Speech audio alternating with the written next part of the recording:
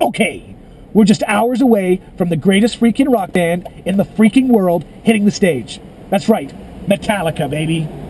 Now, I'd love to tell you we got Lars or James coming up, but it ain't gonna happen. They're people that never even got back to us. Not even a please bugger off letter like the last two artists we tried. Hello, Snoop. Hello, Slash. But what we do have is one of the NHL's biggest headbangers, Detroit Red Wings defenseman Mike Commodore. He's in town for the show, and we're to catch up and talk a little sex, drugs, and rock and roll.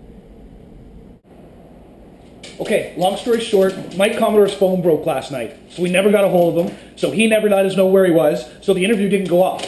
But he just texted to me this morning, and he's leaving shortly, but has invited us to catch him uh, at the hotel before he departs. So I gotta get packed up because I also have a paddleboard race today. Uh, more about that later for another show, but uh, it involves me uh, getting in a paddleboard race for the first time in my life. So I've got that in 45 minutes. I've got um, Mike in 10 minutes, so we gotta go. Cool.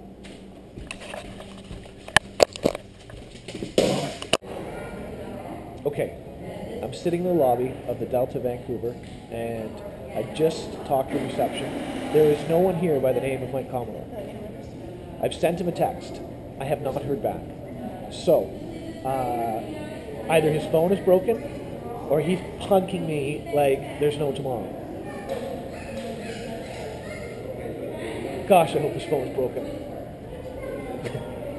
I don't know if my ego can take it. Another rejection.